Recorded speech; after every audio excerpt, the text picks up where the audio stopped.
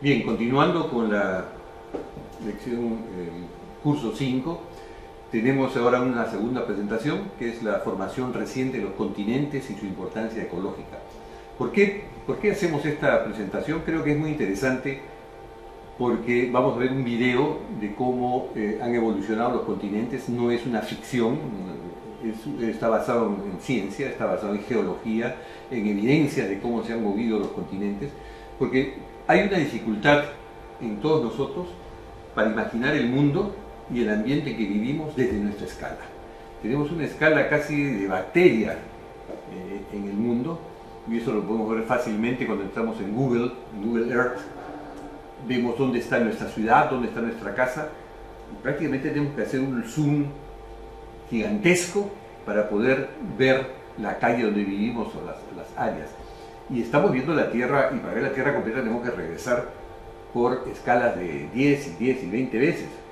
Entonces, esta dificultad para, entender, en primer lugar, la escala en, que estamos, el lugar físico que ocupamos en el mundo como seres humanos y aún como civilización, como ciudades, y la escala temporal, poder imaginar, todos sabemos nuestras edades y cuánto tiempo estamos en la Tierra y sabemos, hemos estudiado historia y hemos escuchado que la Tierra tiene N millones de años, con más precisión 4.500 millones de años de formación de la Tierra, pero se nos hace difícil ver qué significa en eso 200 años, qué significa en ese tiempo 500 años. Un ejercicio que alguien ha hecho es poner toda la historia de la humanidad, esos 4.500 millones de años, en un año, en 365 días. 4.500 entre 365, verán que cada día pasa pues millones de años. Son más 4.500 que 365 días. Entonces cada día pasarían millones de años. La cosa es que recién en julio o agosto de ese año empezarían a aparecer las primeras eh, señales de vida. Por ahí en noviembre o diciembre empezarían a aparecer los animales más, eh, bacterias y los animales más evolucionados, etc. El hombre aparecería a 10 minutos para las 12 de la noche del 31 de diciembre y lo que ha pasado en los últimos 150 años pasaría probablemente en los últimos 15 segundos de esa, de esa, película. Eso ayuda a darle escala, pero también da la escala el saber que el mundo no es como lo conocemos actualmente, está cambiando permanentemente, sino que nuestra escala no nos permite ver cómo cambia. Y de hecho ha cambiado mucho. Y vamos a pasar solamente una eh, visión de lo que ha ocurrido en los últimos 500 millones de años en términos de formación eh, de los continentes. Este es una, un video de 500 millones de años. Ustedes van a ver abajo los millones de años que están pasando y vamos a ver los periodos, esos periodos tan confusos que todos eh, conocemos de nombre, el Jurásico, el Permiano, el Cambriano, es tan difícil de ponerlos en orden y de ponerlos a imaginarlos en el tiempo. Pero el periodo Cambriano viene de los 540 millones de años, eh, y la Tierra se movía en esa época así. Vean que estamos avanzando 520 millones de años, hace poco, aquí no son 4.500, los últimos 500 nomás. Cómo pasamos al ordoviciano en los últimos 500 eh, años, 40 millones de años después. Y apenas ha habido cambios en una Tierra, en un planeta que está rodeado de agua fundamentalmente. El agua que es la misma que ha estado desde esos años en la Tierra. El agua es una sola. Va, variando de forma, eh, va variando de, lugar, todo el ciclo del agua, pero el agua sigue siendo un elemento que aún no se sabe bien cómo llegó a la Tierra, se sospecha que puede haber llegado de los cometas, como ustedes ven en el gráfico, hay eh, un, movimiento de las placas que se están enfriando, que como el, giro de la Tierra provoca pues, que se desplacen encima del magma y comiencen a chocar entre sí o a separarse entre ellas dependiendo de la dinámica de estos continentes. Es muy difícil saber ¿Qué está ocurriendo? ¿Qué está ocurriendo en este momento, por ejemplo, aquí en el centro? ¿A qué obedece esa cordillera? Sin embargo, en este gráfico, vean ustedes que en líneas negras están representadas los países que conforman hoy día, para que tengamos una idea de dónde viene, de, dónde vienen nuestros países. Es difícil, en esta etapa estamos en el periodo devoniano, 360 millones de años, es más difícil todavía ver dónde, eh, dónde, dónde estamos. Ahora estamos en el carbonífero, hace 340 eh, millones de años, y empieza a formarse lo que se va a llamar Pangea, el, único continente. Hay un momento en que los continentes, aparentemente, es una teoría todavía no confirmada, han, han realizado un solo, un solo bloque, digamos, de placas pues, unidas. Pero aquí están esas líneas negras que ustedes podrán ver en el video, pues, con paciencia, eh, podrán ver cómo los países están seguido formando. Continuando, ya estamos en el año 260 millones antes de, nuestra época, era el periodo permiano. Ya empieza a formar este gran continente Pangea, empieza a asumir algunas formas. Veamos, veamos aquí cómo la costa del Pacífico, nuestra costa, Sudamérica y África empiezan ya a, a dibujarse, lo mismo que Norteamérica, y esta zona acá que es muy crítica influenciada por esta placa que forma lo que es Centroamérica. Estamos ahora en el periodo, famoso periodo Jurásico, donde desaparecieron al final de este periodo los, dinosaurios, teóricamente por un meteorito que cayó en esta zona. Y sobrevivieron muchos los mamíferos, pequeños sobre todo, que pudieron eh, esconderse y eh, subsistir frente a este caos que se creó con el oscurecimiento de la, atmósfera y la desaparición del alimento básico de grandes animales. Estamos en 190 millones de años antes de nuestra era, cómo se sigue moviendo eh, los continentes y giran en función de la dinámica, siendo el Ecuador esta línea más clara que está en...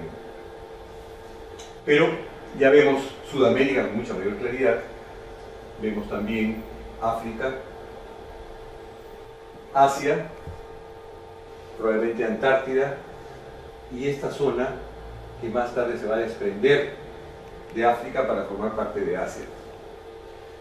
También vemos cómo en la parte izquierda las placas del Pacífico empiezan a acercarse a eh, las costas, la costa oeste, digamos, de Norteamérica y de Sudamérica. Avanzan con bastante velocidad y comienzan a asomar más rápidamente. En este momento se separa el África de Sudamérica, pero en el centro de Sudamérica todavía hay un gran lago.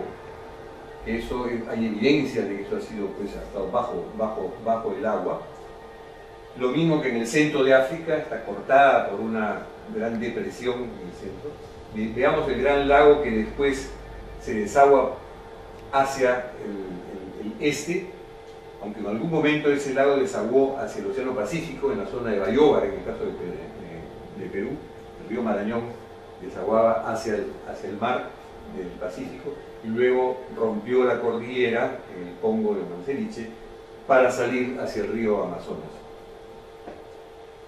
La India, miren la India que sale de esta zona, este Madagascar, la India a una velocidad geológicamente bárbara, va a chocar contra el continente asiático. El choque de la India contra el continente asiático levanta toda la cordillera de los Himalayas. Que hoy en día esa cordillera da lugar a los ríos más caudalosos e importantes del mundo en términos del acceso a recursos hídricos de Pakistán, la India, China, etc. Los, más importantes ríos, gigantes entre ellos, pero hay otros, crean un sistema hídrico acá de enorme importancia gracias a este levantamiento del suelo. Y estamos en 10 millones de años, ya ayer por la tarde, las placas siguen avanzando, la placa de Nazca sigue chocando y produciendo pues, innumerables terremotos y levantamiento de la cordillera de los Andes, ya se levantó tanto el continente por el lado del Pacífico que todo el agua se ha drenado hacia Brasil y el océano. En conclusión, sobre este, eh, sobre este video, esta deriva de los continentes y esta permanente dinámica de lo que es la Tierra y que nos pone en una, una escala minúscula en términos físicos, pero importante en términos de lo que estamos haciendo con la Tierra y con los recursos, es que tenemos que acostumbrarnos a pensar en tiempos diferentes, en tiempos geológicos por un lado, y los tiempos que, vitales, los tiempos de nuestras vidas tan cortas relativamente eh, las que tenemos. Tenemos que tener una idea muy clara que la Tierra ha evolucionado y que continúa evolucionando, pero a un ritmo muy diferente de nuestro frenético eh, ritmo de vida eh, y, tan, rápido. Son tiempos muy diferentes y escalas en términos de tamaño también muy diferentes. Esta evolución de 4.500 millones de años en un planeta pequeño tiene 12.740 kilómetros de diámetro, o sea, 6.370 kilómetros de radio. Parece, parece mucho, pero lo importante es la corteza, la parte que contiene la vida, que se llama la biosfera. Toda la vida del mundo está concentrada en 10 kilómetros hacia arriba, donde acaba 2.000 metros más encima del Everest no vamos a encontrar nada que hacer como humanos. son entonces 10 kilómetros de arriba y máximo 5, 6, 8 kilómetros hacia abajo. En total estamos hablando de una capa de no más de 15 kilómetros de altura. 15 kilómetros Lima, de la distancia de Lima-Callao. Tomen ustedes el mapa de la Tierra y traten de levantar la distancia Lima-Callao y veremos que se trata en una esfera, digamos, de que tuviera un metro veinte, una esfera de este, de este tamaño, estamos hablando de un milímetro y medio de espesor. Allí está toda la vida del mundo, para que tengamos una idea de la fragilidad del ambiente en el que estamos trabajando en la Tierra. La biosfera, hagan ustedes ejercicio con, con Google Earth, es aire, suelo y mar. Son los tres elementos de la biosfera y esa es la fragilidad que tenemos que tener en cuenta. Les recomiendo ver en Netflix también un film sobre Población Cero, se llama, un documental que ilustra qué pasaría en la Tierra si desaparecen los humanos de un momento a otro, para que tengan idea de cuán dinámica es la recuperación del planeta, en cuánto tiempo y de cómo puede desaparecer la raza humana, si es que no, eh, no, no dramáticamente, no digamos con una violenta, y la tierra va a seguir existiendo. Entonces no es que seamos pues los amos de la tierra, sea, devolvamos a la tierra lo que la tierra nos está dando.